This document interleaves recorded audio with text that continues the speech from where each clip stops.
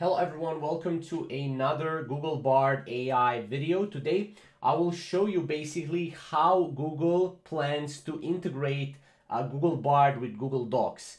Now as you can see a new era for AI and Google Workspace. So not only will uh, you know Google actually go and implement Google Bard within Google Docs, it will also implement uh, Google Bard in Google Workspace. So as you can see, it will make more Workspace even more helpful.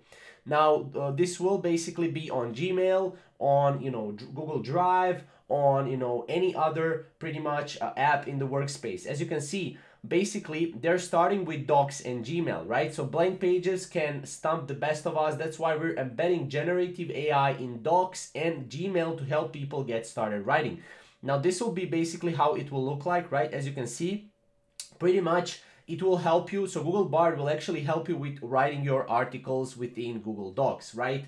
Uh, and obviously, um, as you can see, help me write. And then, as you can see, you can put job post for a regional sales rep and then hit create. And then it will basically create a job post for you. This is how it's going to look like. This is still in beta. It's not yet available for everyone, but this is basically how it's going to look like, right? In Gmail as well, it's going to look like this, right? You will be able to formalize an email, right? And create another email from that email, right? Um, you know, then, you know, you will have a lot of different things here. Uh, overall, I just wanted to show you how you can actually use the, um, you know, the part where it's Google Docs, right? This will help a lot of you to write better copy or, you know, better sales descriptions or job descriptions, right? Whatever you want to write.